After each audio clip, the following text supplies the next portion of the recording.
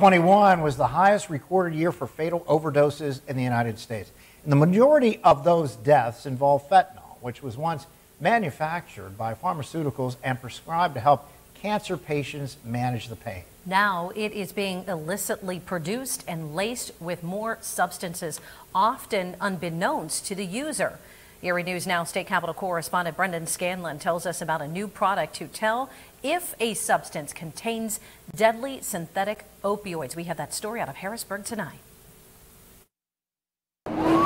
According to the CDC, there were over 107,000 American lives lost in the 12-month period ending in January 2022. 75% of those were thought to be related to fentanyl. Dr. Jake Deutsch has practiced emergency medicine for over 25 years and works closely with opioid overdoses and the devastating impact of fentanyl. This is a significant problem. I mean, those numbers are the highest in recorded history. Experts suggest the rise is linked to the deadly combination of fentanyl with recreational recreational and illicit drugs like cocaine, methamphetamine, and heroin. It can take as little as two milligrams to kill an unsuspecting user with no tolerance. It's in pills. It's, you know, powders, of course. Um, there's many times that people have overdosed and not thought that they were at risk. Now Deutsch is advocating for a concept he believes will save lives, rapid at-home fentanyl testing strips. These are very, very practical for some of the most critical groups. You know, the idea is, is if this can be